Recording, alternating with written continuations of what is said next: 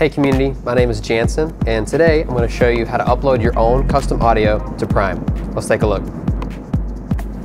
So here I am in my Finder window on my Mac, and I have a song with all the stems inside.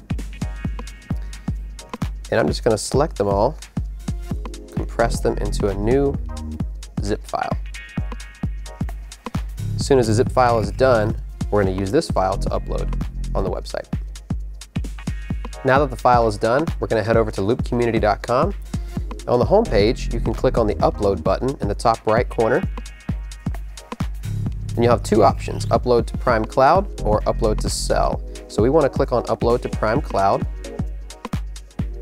And from here, the screen uh, to choose the zip file you want to upload and fill in your track information will be available.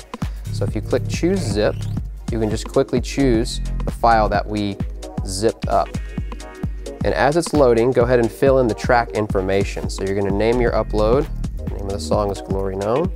The artist is Jansen Roberts. The BPM is 75. Time signature is 4-4. And the key is in B flat.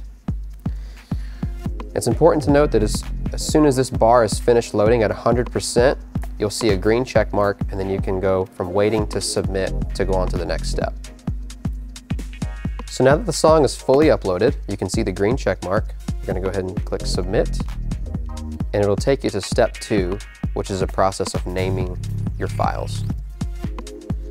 On step two, you can just quickly select the drop-down menu to match the name of the stem, going all the way down through your song list. And once all of your stems are selected from the drop-down menus, you can click submit to go to step three. During step three, this process can take a little bit, so you might want to run, grab some coffee, come back.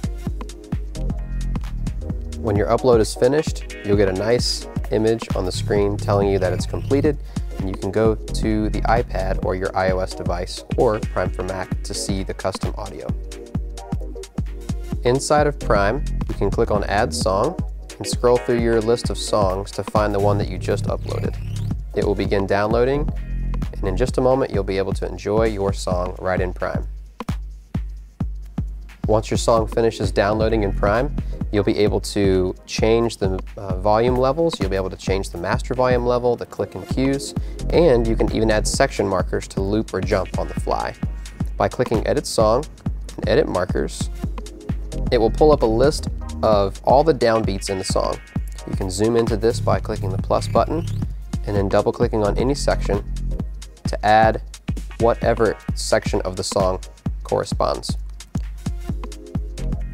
Once all your custom section markers are in place, you can hit save and it will save that arrangement of the song for future uses in Prime.